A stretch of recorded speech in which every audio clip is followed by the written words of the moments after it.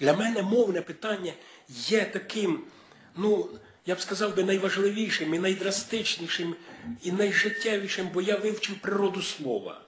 Я цьому присвятив чверть віку, вивчення природи слова. І тому я не знаю, як мені бути, а мене ж будуть звинувачувати. Мовчан, ти хочеш підіграти владі? Ти будеш голосувати проти коду? Ні. Я, я шукаю альтернативу. Чи спроможні ми її ще сформувати? Ось в чому питання. П'ять місяців протовклися. П'ять місяців ми збиралися, думали, як нам бути. Думали, що партії нам допоможуть, які поділяють ідеології просвіти, які співпрацюють протягом тривалого часу.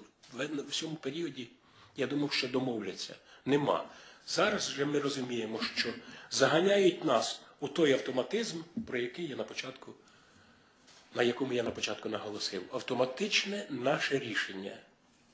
Ви голосуйте, бо немає альтернативи. Чому? Ясно в річ, що я не буду ніколи в житті, як і ви, за окупаційну владу. Інформаційний простір окупований. Ось спустіться донизу, ви поглянете кіоск на кіоск, і ви побачите, скільки ви знайдете там українського друкованого слова. Та це мізерія. 0,3. Які ще докази, що ми не окуповані? Які ще докази потрібні для того, щоб коли з підручників викреслюються або перетрактовуються, як це дуже цікаво проілюстрував Дмитро Павличко на відкритті Шевченківських днів в українському домі, де е, е, відома поема Катерина вже вчителям рекомендує слово е, етнонім москаль забрати.